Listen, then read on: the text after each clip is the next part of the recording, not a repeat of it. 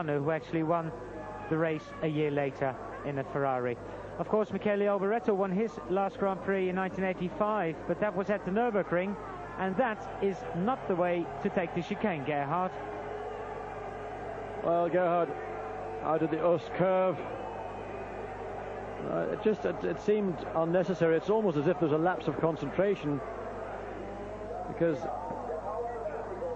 well, his last lap was 143.966, which is still the only man to break that 1 minute 44 second barrier, but he chose the option of not going through the corner and risk spinning and then having damage to the car.